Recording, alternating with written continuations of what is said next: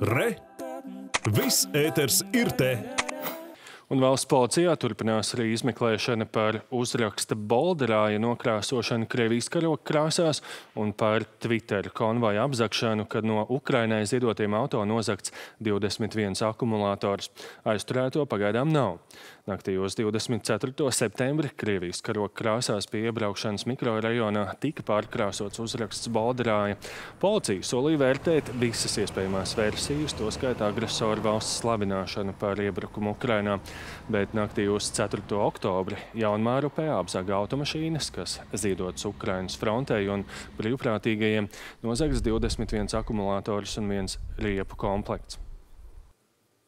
Abos gadījumos valsts policijā šobrīd turpinās izmeklēšana un krimināla procesos tiek veikts dažādas procesālās darbības, lai noskaidrotu notikušo, tā motīvus un to, vai notikumos ir saskatām arī naida noziegumu pazīmes, kā arī šos te iespējamos vainīgos cilvēkus.